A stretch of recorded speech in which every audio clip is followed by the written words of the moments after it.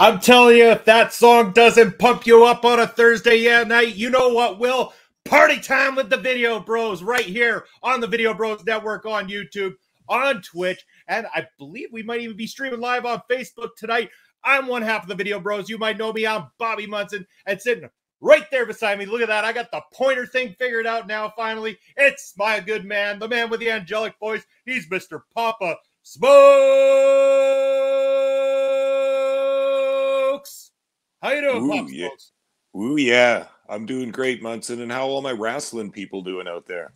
Hopefully everybody's doing fantastic, and we got somebody joining us in the comment section already. What up, brunch brother? What up, Papa? Lance Anawai, I acknowledge you.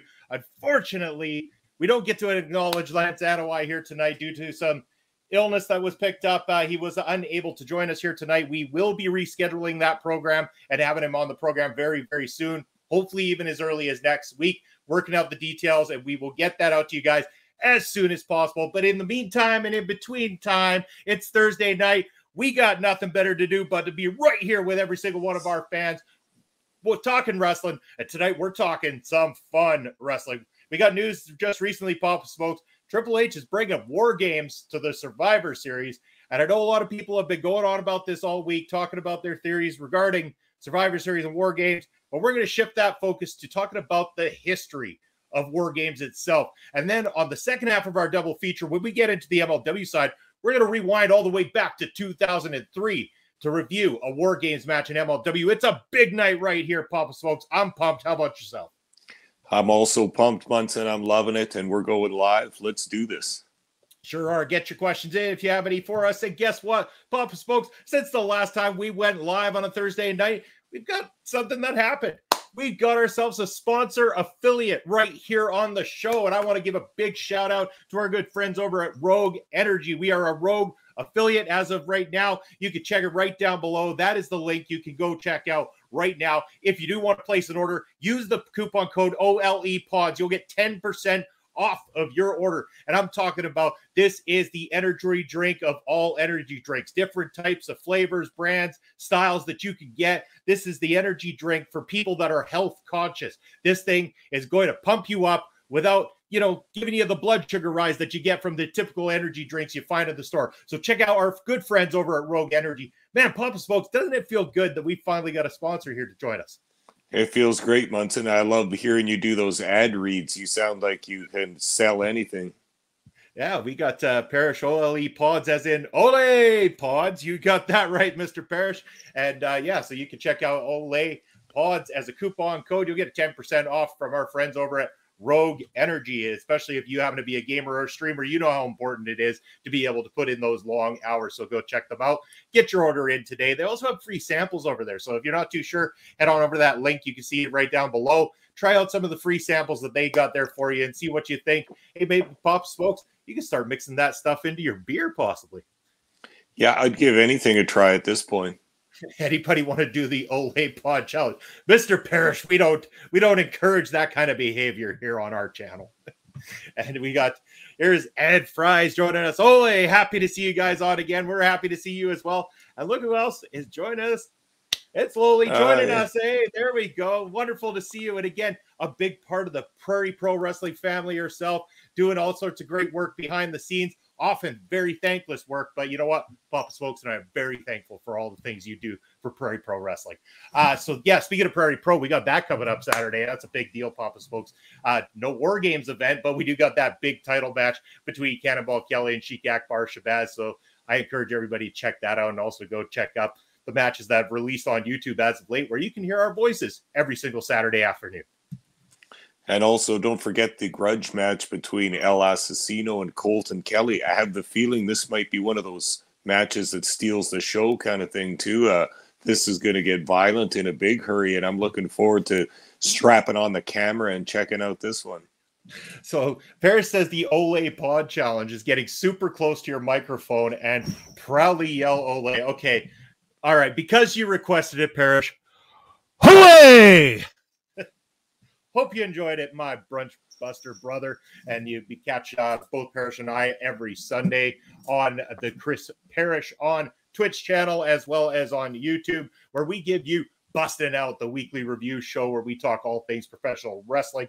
What a wonderful debut we had last Sunday, Pop Smokes. I know you were able to join in and catch that with us a little bit, and we'll be back this Sunday as well too. But let's get down to business, Papa Smokes. We're talking about the war games. Hold on. I mean, Bobby do things.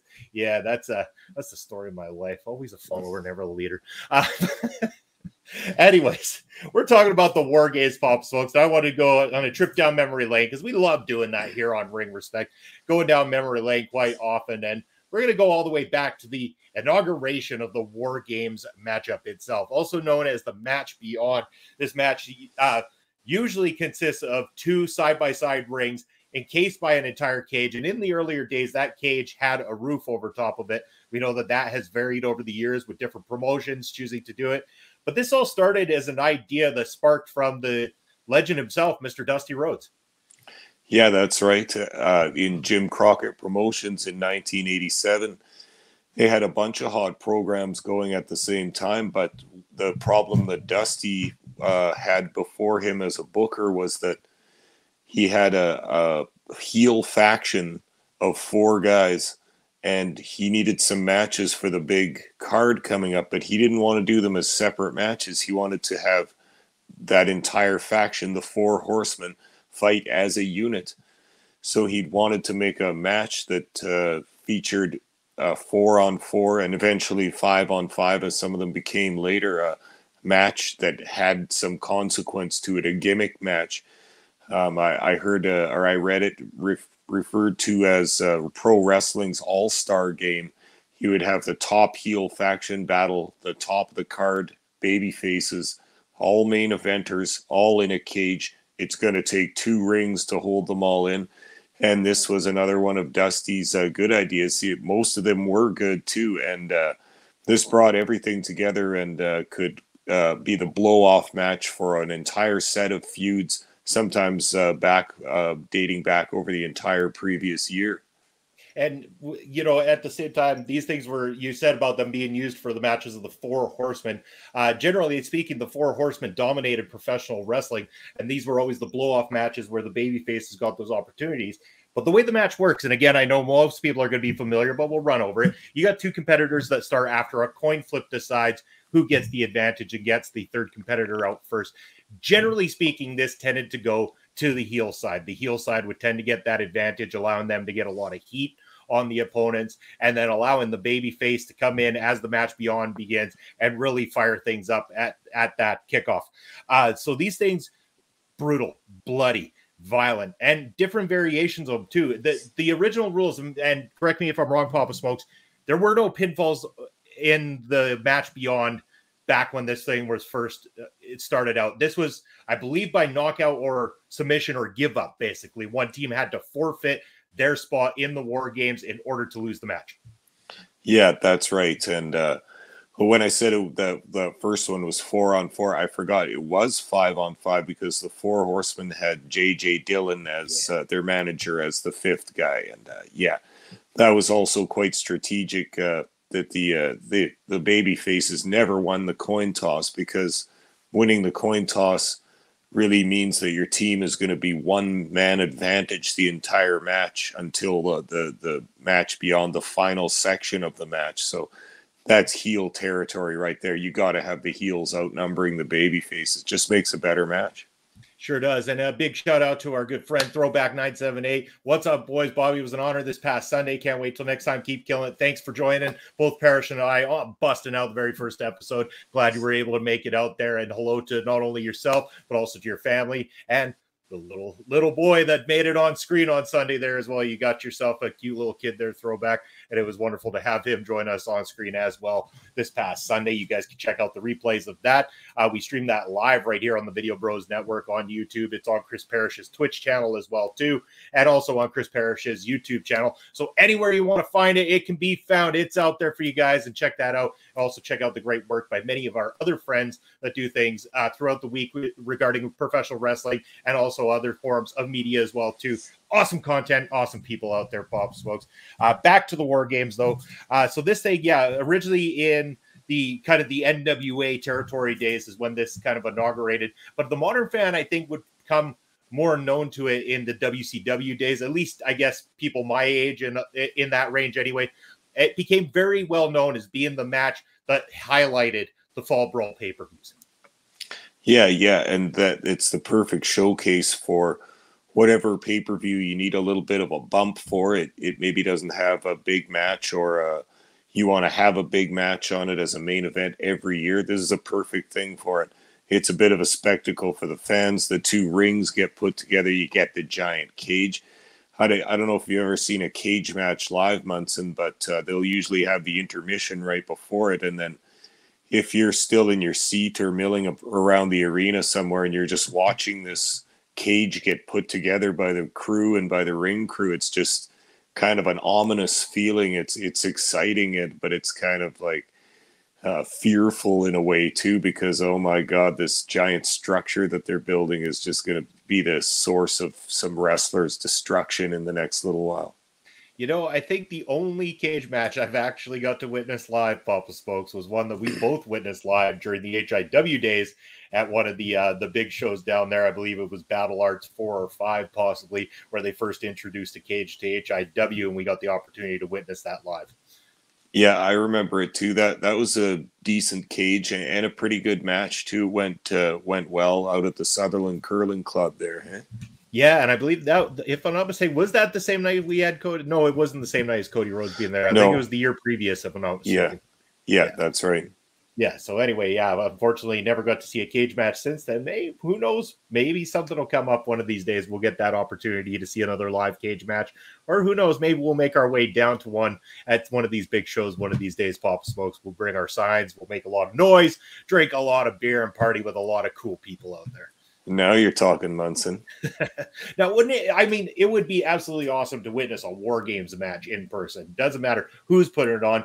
Uh, we got our good friend Mel joining us, gentlemen, and calling us gentlemen. You know, I'm starting to blush here a little bit. I mean, it's not very often we get called that, folks. Uh, I'd love to see an Elimination Chamber Wars Games match.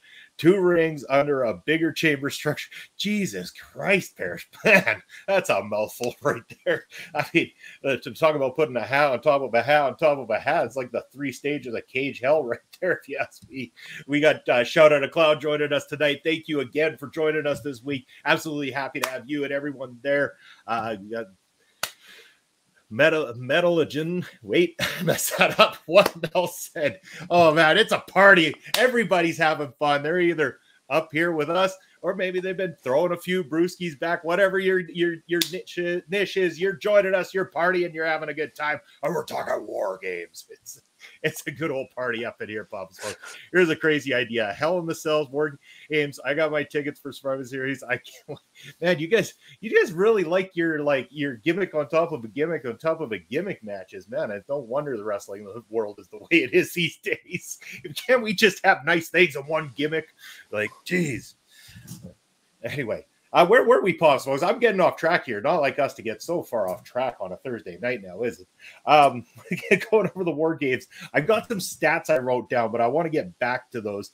Um, the first, I guess, event or pay per view that the War Games was used at uh, was actually the Great American Bash prior to it ever becoming known for being at the Fall Brawl. Yeah, yeah, it was at the Bash in 1987, and uh, that's generally considered, I think, the best one. That that's one of the ones I went back to watch in prepping for this, and it is quite excellent. Uh, Oh yeah, that one having the Road Warriors, Nikita Koloff, Dusty Rhodes, and Paul Ellering versus uh, Four Horsemen, Ric Flair, Arn Anderson, Lex Luger, Tully Blanchard, and then J.J. Dillon, the the manager in there. So already with the two managers, Ellering and Dillon, you know probably one of them is going to take the falls rather than have one of the uh, top heels or baby faces take it. But you know, it's how they get there is, is what we want to see. yeah, and these things again, like brutal, bloody, violent. Uh, color was the name of the game when it comes to the War Games matchups. If you weren't showing color, you probably just weren't trying hard enough. Yeah, red means green. That's what we used to say in the business all the time, Munson. Red means green.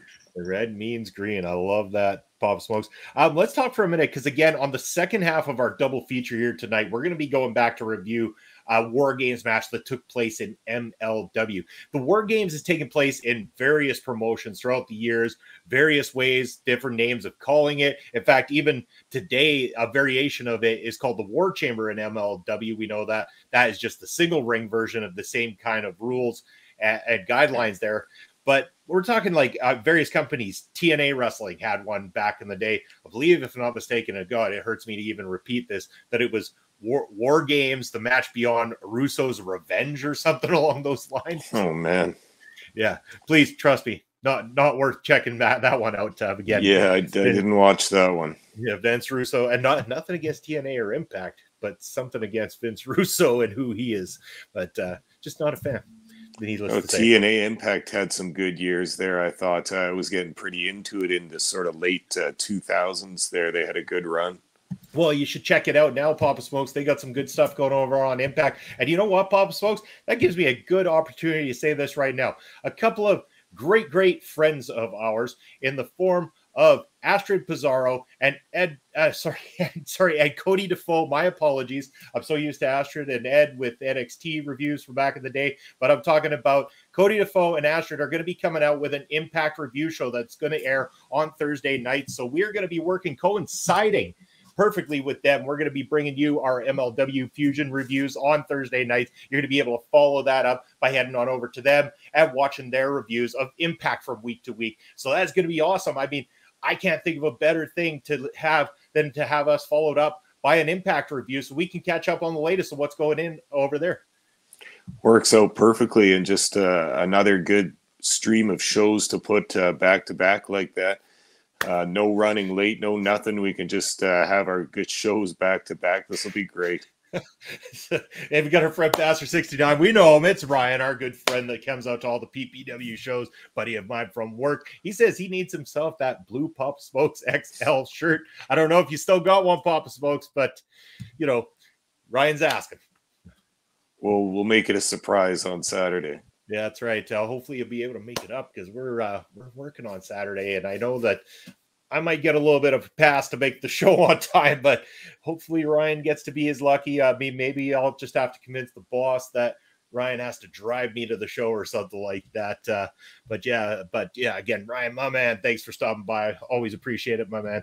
Uh, Ed coming in with, I mean, I like Impact, but can't watch it on a weekly basis. But absolutely check them out. I agree. But Ed, we know you're going to also be back streaming very, very soon with another kick ass show. I don't want to go start giving that away right now. I allow you to drop that when the time comes. But I know that on Tuesday night that they were talking a little bit about uh, Astrid's new show with Cody uh, coming up. It's going to be the Impact Review Show. So, what does that mean for us? We've been doing these double headers right now. Pop Smokes on Thursday night. Ring Respect Radio beats MLW. I guess depending on the length of the Fusion episodes, we might still do a coinciding night, keeping it to about an hour ish.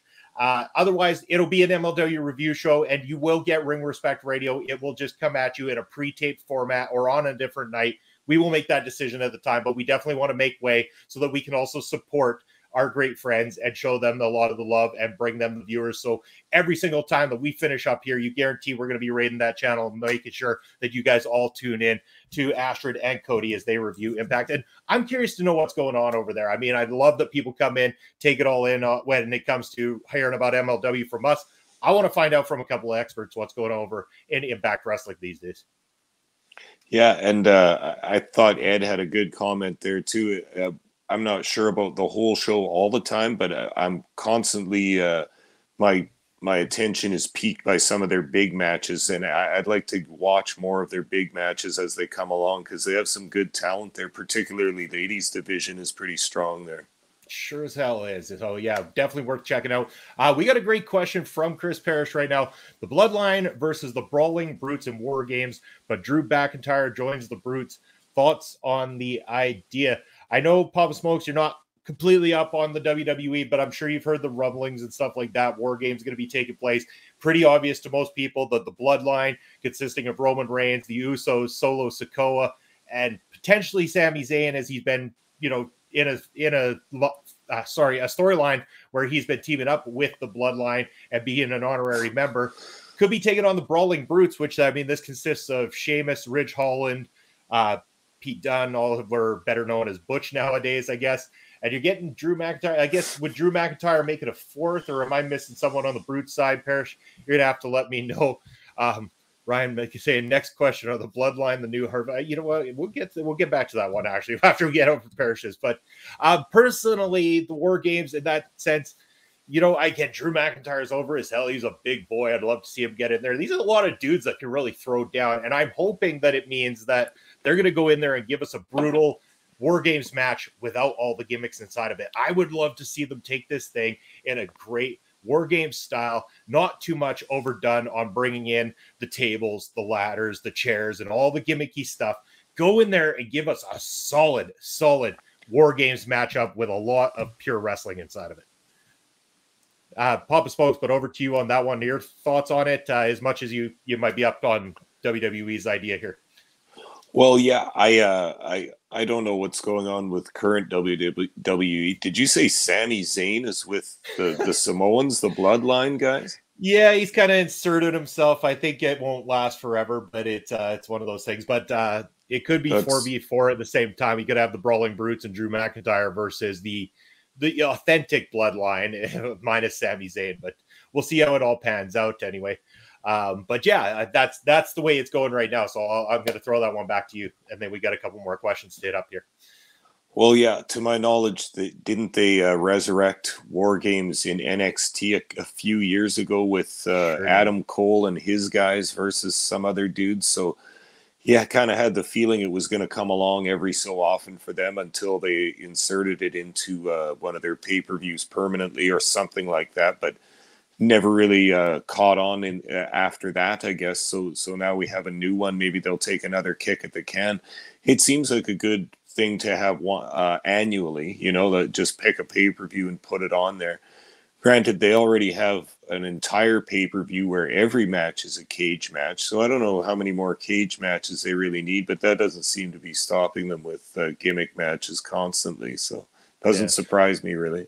Yeah, and Parrish saying Sami Zayn is killing in the role too, and once he gets kicked out, he will be uh, super over as a baby. And you're you're 100 percent right, Chris. Uh, like it's it's quite clear that Sami Zayn is taken to the role quite well. Obviously, Triple H firmly believes in him and is going to have big things in store. Again, a lot of people speculating the inevitable tag team of Kevin Owens and Sami Zayn coming around. We know their friendship. You know, those friendships tend to tend to make for good tag team partners, and I can imagine that they're going to get a good run with that tag team titles eventually there over in the WWE. Uh, but let's change over to this one. Uh, Bastard69 wanting to know next question Are the Bloodline the new Hart Foundation?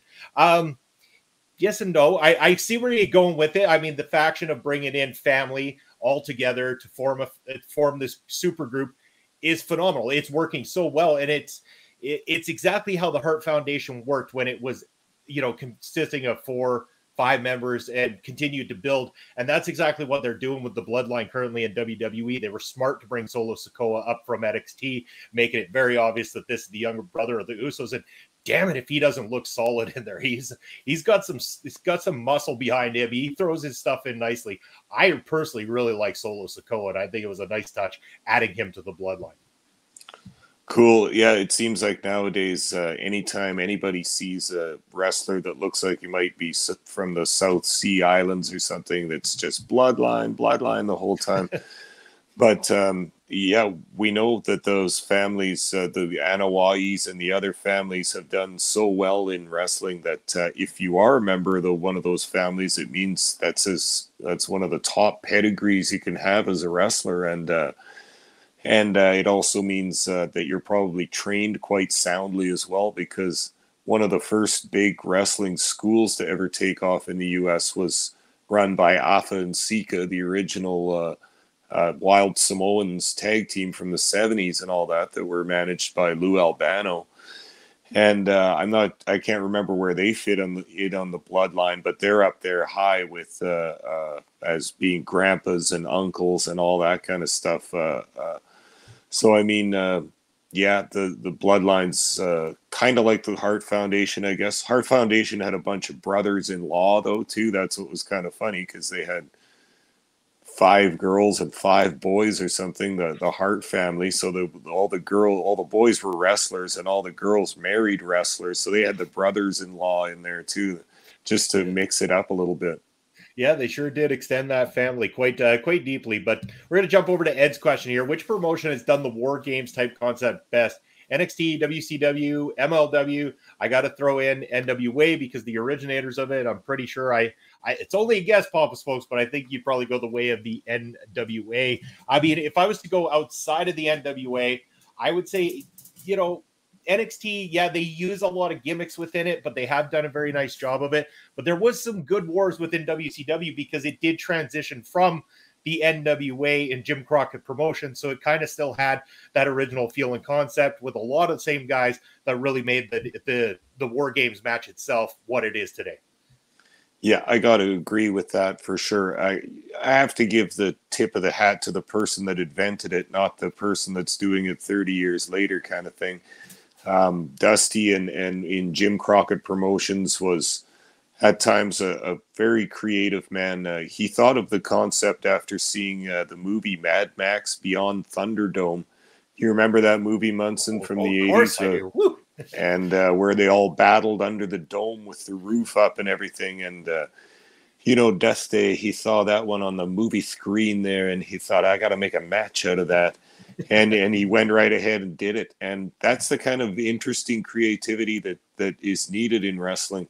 Not just doing what's happened before in wrestling but watching movies watching tv shows reading books getting ideas from different areas of culture to uh, synthesize with pro wrestling. That that's what makes the real genius i think. So and that that that first one in 87 at the great american bash just has such fire in it too. Uh, I like that one the best of all for sure. Uh, one of the one of the best uh, babyface uh, hot tags is for, or not really a tag, I guess, but is uh, Road Warrior Hawk kind of steals the show in that one, has a real big comeback and smashes some guys. That, that's quite an exciting one. I like that one a lot, but it had a lot of star power in the ring too. Yeah, and speaking of star power, Parrish has got a really good question that ties into this. I'm just gonna get this one because this is off topic. So throwback. I'm just gonna throw this to you real quick here. Uh, thoughts on the possibility of three former NXT UK champions facing Bron Breakker at Halloween Havoc? Who do you think will win? I don't care whoever's in the match personally. It doesn't matter which of the other three or two or whoever the hell is in there. Don't even care the Bron Breakker's in the ring. All that matters is Ilya Dragunov's in there. He's going to slap the shit out of a whole bunch of other wrestlers, and he's going to walk out the new NXT champion. And that's all that really matters because guess what? Ilya Dragunov is freaking golden, and I can't wait to watch him become a champion again in the WWE. That's exciting. I've only seen a couple of his matches, but he looks for real to me. Oh yeah, can't wait. Ilya Dragunov back in NXT. And speaking of NXT, Chris Parrish in the comments there taking over on Tuesday nights. You can catch him and Astrid Pizarro on Tuesday nights as they review NXT. It is the best NXT review show that you can get. They give you all the facts and they have a good old time. The star Astrid Pizarro, along with my brunch buster brother Chris Parrish, every Tuesday night. Check them out. I got uh, Parrish mentioning uh, match will be Bron versus Dragunov versus JD. No Tyler Bate. JD was not a UK champion. Okay, see, uh, talking facts. That's what the kind of facts you'll find out on a Tuesday night on Taking Over right there. That's the kind of things you get. at taking over, baby. You got her, Chris. That's right. And then, uh, yeah, but after Bron said he wants to face Bate, um, sure. But anyway, either way, Bron might want to face Bate. People might want to face Bate. I don't care who faces Bate. All I care about is Ilja Dragunov because I personally am a big massive fan of that guy's work, dating back even to WXW in Germany as well too. Uh, and I think Bobby is going to be disappointed come Halloween Havoc if he thinks that Ilja is walking out champion. Then let me be disappointed. You know why I'm not going to be disappointed, Ed? Because Ilja Dragunov's in the goddamn match, and that's what matters most. Love that guy, win or lose. I'm rooting for Ilja Dragunov all the way. Take that one straight to the bank. I don't care. Um, from there, let's get back a little bit on the war games. And Chris Parrish asking, who was the best war game competitor? I've got some stats that helps this out here, Pop Smokes, but then I'm going to get your personal opinion. First of all, we've got the best, most winning people inside the War Games matches 13 appearances, 13 wins, and that is both Road Warriors. Nice, nice. Hardly surprising, too. Yeah, only uh, second to that with 11 appearances, 11 victories are both Dusty Rhodes and Nikita Koloff behind them. Now, if we were going for the worst War Games records, and this this might come as a shock to some of you, Ric Flair holding a record of zero and 14 inside of the War Games. JJ Dillon, zero and 13, and tied for the most losses and most appearances inside a War Games match in history. Tully Blanchard and Arn Anderson both tied at 15. But Pop Smokes, on a personal level, who's the best War Games competitor? I uh, I kind of have to give a nod to uh, Steve Doctor Death Williams because he's in a couple of those WCW ones uh, in the late '80s and '90s, and there's one where uh, it's I think it's Road Warriors, Steve Williams, and Midnight Express against the Freebirds and the Samoan SWAT team. The of course the previous version than the one we know now. And there's a spot where they have the ring on the cage there, and it's not really all that high.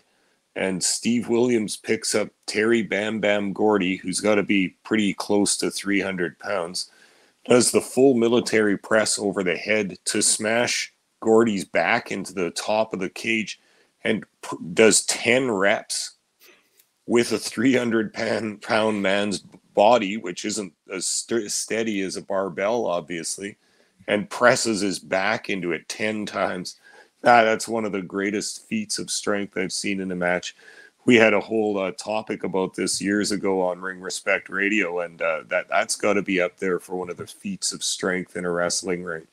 Oh, for sure. And Dr. Death Steve Williams, we're going to be talking about him very shortly as well, Pop Smokes, Yeah. because he uh he happened to be in that MLW one. And I know Ed mentioned about what was the best one to kind of redo the War Games match or the War Games match in general. And I know you mentioned MLW, and we're going to be talking about that very soon. So I don't want to go into too many details, but I would say that MLW with the recreation as the War Chamber has done an excellent job. I've really enjoyed the couple of War Chamber matches that they brought to the fold. We're going to get to that War Games match right right away here, and they were very heavily focused on adding those additional gimmicks because they were still very much in that phase of trying to be the next ECW or at least bringing people that ECW flavor that they weren't getting when it was bought out by the WWE. So very going to be going to be a very interesting topic to talk about. But as much as we love MLW, if you're putting the War Games stamp on it, I would say they're out of the running for you know at the top of the list. But if you start to add in the War Chamber, which is only the single ring version, there's a little bit of a little bit of a argument to be made there about the way they're handling it now, Papa Smokes. Because those two War Chamber matches we've watched and reviewed, they've been spot on. I've loved them, and our boy Tristan Ty kicking ass in both those things. For sure, for sure. And uh, even the the one that we're about to review, I thought was pretty good. It looked like one of the old ones from the '80s, like that. That that's kind of the way they set it up and booked it, I think. But uh, more on that in a bit. Yeah, so Parrish wants to know what would your ultimate dream war game match be? You pick the participants and the company. Uh, so I mean, I guess this could go just about any direction, Papa Smokes. I'm sure we've seen uh, seen what the uh, the old fashioned ones could do and who could be in those things and everything like that. But ultimately, you really want something that's that's got that tension between two sides, something that really drives it home, a reason for two sides to compete and I mean, if you're trying to do that in a modern aspect, what direction do you go without, you know, picking the obviously the direction they're currently going in WWE right now? Unless you start to get into the whole booking between two different separate companies or something like that. I personally think if you're going to do it with modern day uh, wrestlers, I would love to see the War Games match maybe take place between two siding, uh, two different uh, companies, maybe MLW versus Impact Wrestling and have two sides uh, of the coin on over there. And can you imagine having a guy like Davey Richards on one side of the ring for MLW and then having his former tag team partner Eddie Edwards on the opposing side for Impact Wrestling? I mean, you start to throw in names like Alex Kane, Alexander Hammerstone, Jacob Fatu. I mean, you got some real beasts over on that side, but man, you got some kick ass wrestlers over on the side of Impact Wrestling as well too. I think that you could have a real collision a real true war games between those two companies. Oh, for sure. Just continuing on that one too, we got a tiny taste of that this summer watching Ric Flair's retirement match and uh, that Jacob Fatu versus Impact champion Josh Alexander had some real mustard to it. That was a good match, man, and and two hard hitting, real tough ass guys. And uh, I, I would take more of that anytime. Yeah, I got to imagine Josh Alexander on the side of Impact. Like, I mean, if anyone's going to take it to Team MLW, I'd be worried seeing Josh Alexander across the across the ring there. So that I think is the direction I'd like to go. Is there anything you would do differently, Pop Smokes? Yeah, I just the thing about dream matches is that there's no you can't build it up beforehand like there isn't a situation that starts you just pick the combatants at random kind of thing so i find it hard to do um, but i know i like your idea of doing a cross promotional thing too as long as it's a dream match i suppose then you don't have to uh, obey any of the rules of business that would prohibit that in the first place uh, yeah, you could get all kinds of stuff going. Uh, I, I tend to think of things not in terms of the large companies, but I like uh, the the smaller companies. But uh, oh, there's all kinds of stuff you could do. I, I would probably pick mine from the past, from guys that are dead and retired and all that. If I if I had time to sit down and think about it. Yeah, if only we could get Hackenschmidt and Gotch inside the work games. Good one. throw, throw Stu Hart in there while we're at it. But uh, we got Parrish mentioning that he would do the Hart Foundation consisting of Bret Owen, the Bulldog, and Brian Pillman versus DX in Billy Gunn, Road Dog, Triple H, and HBK. Well, why not make it five on five there, Parrish? You could throw in uh, X Pac, I believe, was a DX guy. You could throw him on the side of DX, and then uh, you could get uh, Jim the Admiral Neidhart into the Hart Foundation, where he rightfully belongs as well too. Uh, just, just a thought. And then uh, we got throwback the Nation of Domination versus the Ministry of Dark. Again, a lot that could have been done back in the late '90s with the amount of factions there were, but that that was a sign of the times in the late '90s. I mean, factions. It was it was the thing. I mean, you could make an argument for the team of evolution when they came out and the amount of people that you could have put up against them, especially when they were riding high and ch- having all the titles over in the dub. I mean, easily you could have thrown a war games match together then if the opportunity would have uh, presented itself at the time and factions became a fad they were you know a, fashion in wrestling or whatever but you have to admit they've stuck around because every uh, every promotion has a, a faction at least uh, and usually more than that. Yeah exactly. But yeah that's uh that is war games in a uh steel cage nutshell if, if you ask me. Um anything else that you want to add to this uh this commentary pop smokes with regards to the war games before we give everybody a short break to get ready for fusion? Yeah no not really but this will just bleed nicely into our next conversation about uh, the Funkin Army versus the Extreme Horsemen, and the, the, this was kind of a good time. And this is some of the MLW, the early years that I've been wanting to watch more of. Yeah, exactly. So as that that brings us to an end here on Ring Respect radio side of things, we're going to be taking a short couple minute break. Go get your next beer, go take a quick bathroom break, get yourself ready. Come on back we're going to be doing a little bit of MLW reviewing for you on the edition of Fusion. If you're catching these replays on YouTube, they will be separated. You'll be able to find that episode of Fusion on our channel. So go check that out. But in the meantime and in between time, that's Ring Respect Radio. We'll be back in 2 minutes with Fusion. See you soon.